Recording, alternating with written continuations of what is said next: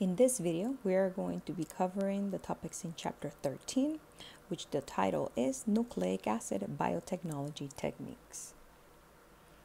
First, we're going to be looking at purification and detection of nucleic acids. So, even though the book discusses purification, we're mainly going to be focusing on detection techniques. When it comes to nucleic acid research, understand that we are going to be working with small amounts of material. How small?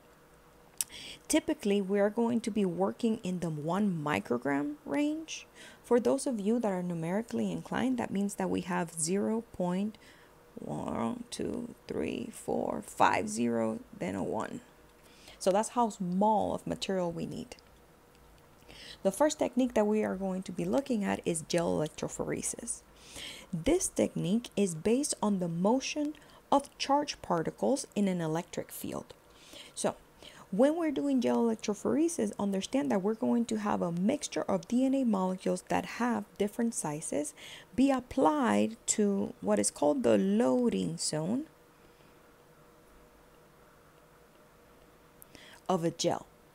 The gel in gel electrophoresis is made out of agarose.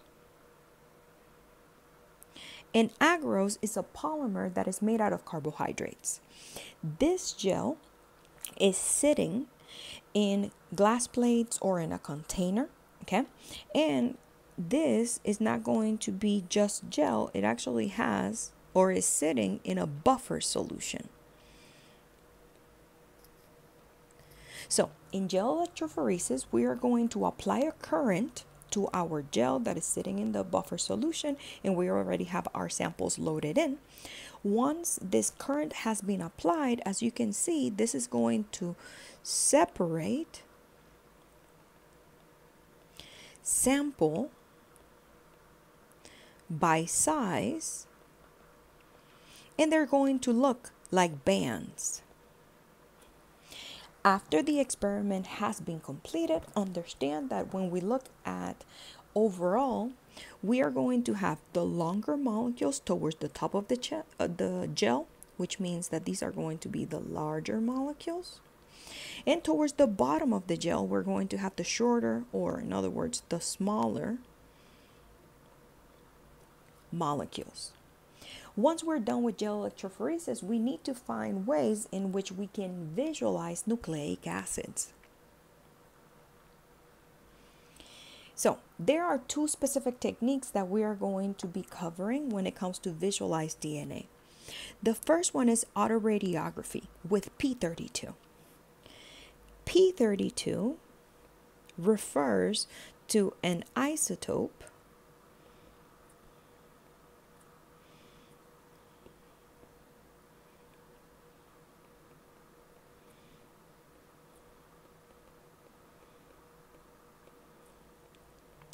of the element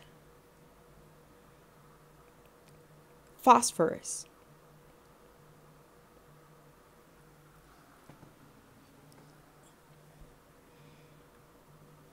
And when we are radio labeling our DNA with phosphorus 32, understand that first we're going to be growing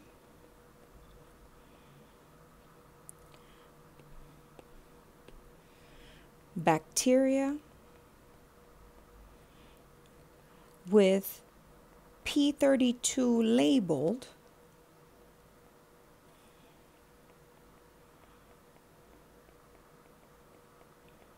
nucleotides. What this means is that we are going to allow this bacteria to undergo DNA replication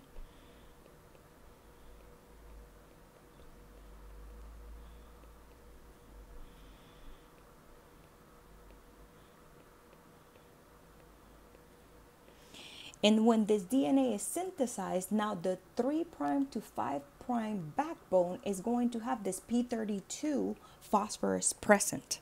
Okay. Then we're going to be isolating DNA.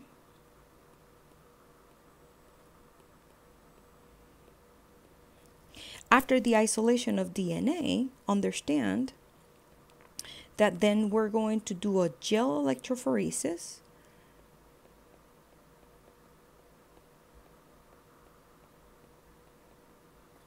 And in gel electrophoresis is where we start in the top figure that we have on the slide. After gel electrophoresis happens, understand that these radio labeled uh, DNA molecules are not going to be visible yet. So if we put a photographic film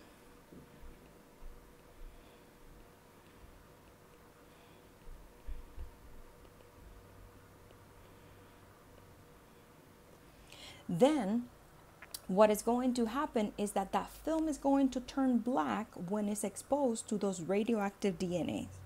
So in autoradiography, what we're going to have is that the film then is going to show the bands of the DNA, and that's going to be compared to a standard.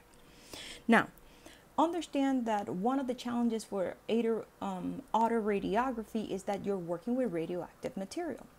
Radioactive material can be costly and more importantly, when you're trying to dispose of the waste, they will charge you more and it's not environmentally friendly. So, other techniques have been developed in order to be more friendly, costly, and to the environment. And those include luminescent and fluorescent methods. These methods are going to be detecting DNA by emitting light. Now, when we are doing a luminescent or fluorescent method, understand that we're going to do some of the similar steps. First, we're going to grow bacteria.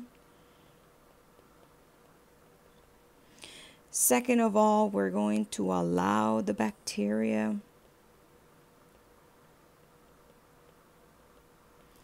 to make DNA.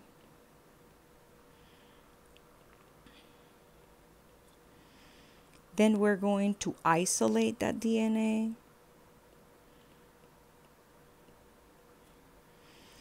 We are also going to do a gel electrophoresis.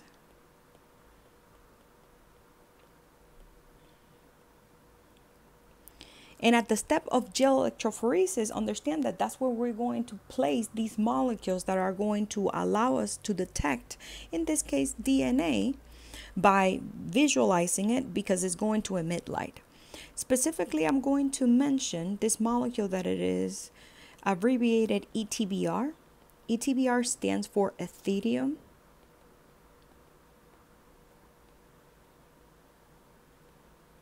bromide.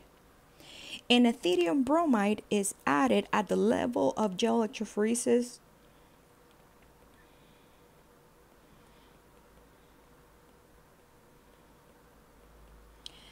It is added to the gel and the buffer solution.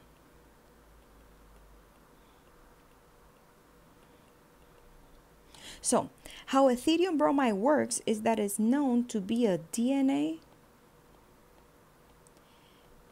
intercalator. What that means is that ethidium bromide is going to sit in between the base pairs and depending on the amount of DNA that you have in there, then it's going to be more ethidium bromide or less ethidium bromide incorporated. More importantly, once you have you are done with your gel electrophoresis, at the end of the gel, you take your gel and you expose it to UV light. And what happens is that ethidium bromide is going to emit an orange light, and that's how you can visualize the DNA.